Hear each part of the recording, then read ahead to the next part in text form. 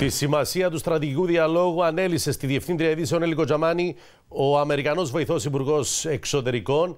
Είμαστε εδώ με την Διευθύντρια Ειδήσεων. Έλλη, καλησπέρα. Καλησπέρα. Σημαντικές οι πτυχές αυτής της συνεργασίας. Τι ακριβώς ε, μας είπε ο Αμερικανός; Στην αποκλειστική συνέντευξη του στον Αντένα, ο βοηθός Υπουργός Εξωτερικών των Ηνωμένων Πολιτειών, ο κ. James O'Brien, προχωρεί νικητά σε ένα απολογισμό του πρώτου στρατηγικού διαλόγου που διεξήχθη σήμερα και που ήταν ένας ε, διάλογος ο οποίος κάλυψε ένα εύρος θεμάτων σε διάφορα επίπεδα.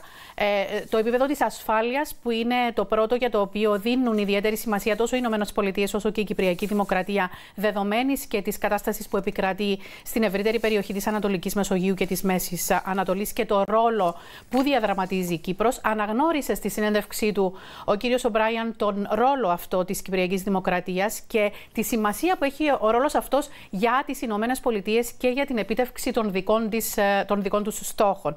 Ταυτόχρονα να πούμε ότι ο διάλογος κάλυψε θέματα και της καθημερινότητας των πολιτών και είναι χαρακτηριστικός ο τρόπος με τον οποίο ο Αμερικανός Υπουργός εξηγεί πώς θα δουν ή πώς ήδη βλέπουν, αν θέλει, σε κάποιους τομείς οι Κύπροι πολίτες απτά αποτελέσματα από αυτή την τόσο σημαντική συνεργασία. Να δούμε την πρώτη δήλωση, γιατί υπάρχουν πολλά σημαντικά που έχουμε να πούμε και επιστρέφουμε. It sounds like a boring thing that only government uh, bureaucrats would think is exciting. But having a dialogue of this kind, structured and strategic, shows how far the relationship between Cyprus and the United States has deepened.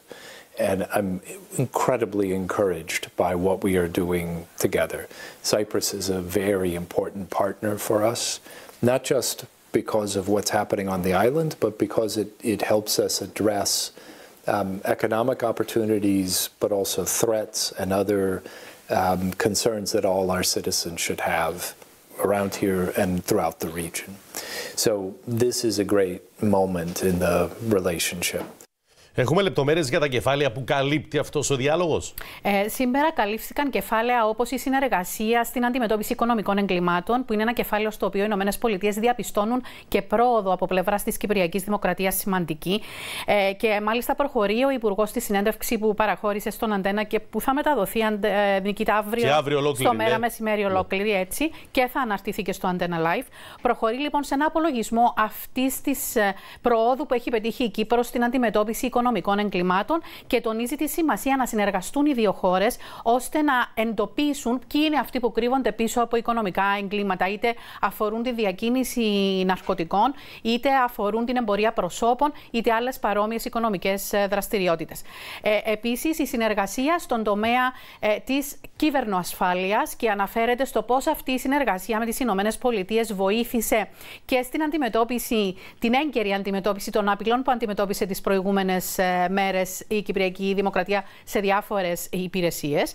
Ε, και επίσης στον τομέα της εκπαίδευσης, που είναι ένας ε, πρακτικός, αν θέλεις, τομέας, ο οποίος αφορά και την καθημερινότητα των πολιτών. Θα δούμε να εγκαθίσταται εδώ ένας μόνιμος μηχανισμός του Fulbright, ο οποίος θα βοηθά στην εκμάθηση της αγγλικής γλώσσας εδώ στην Κύπρο. Τώρα, στο κομμάτι της άμυνας υπάρχουν συγκεκριμένες πτυχές που αγγίζει αυτός ο διάλογος; δηλαδή, μέχρι η... που φτάνει η συνεργασία. Οι πληροφορίες που έχουμε, γιατί είναι ένα ευαίσθητο όπως αντιλαμβάνεσαι κεφάλαιο, ε, είναι ότι συνεχίζεται ε, σε διάφορα επίπεδα.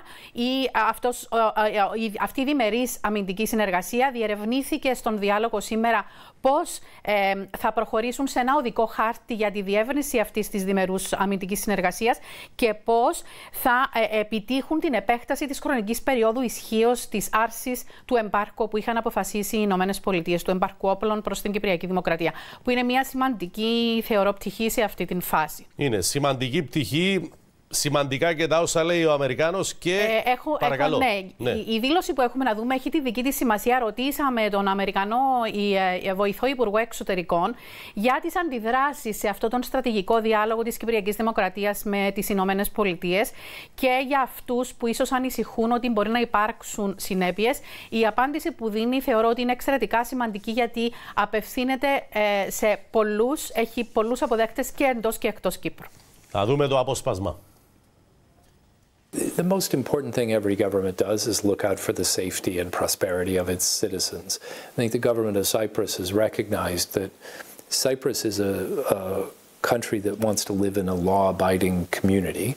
As a member of the EU, that's very important to it.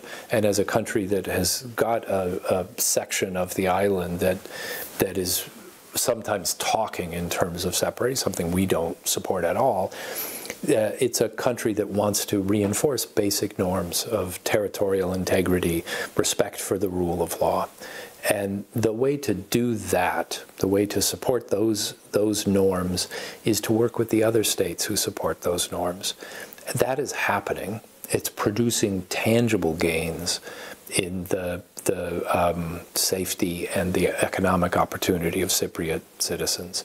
What this dialogue does is give us an opportunity to see where we're doing well, maybe where we could do better, and to begin building, as you said, a roadmap so that we can continue to do better. So I think people are wrong to focus on just one day, but it's a day that allows us to take stock and prepare for the future, but around decisions that I think reflect Cypriot's desire to see their country safer and more prosperous.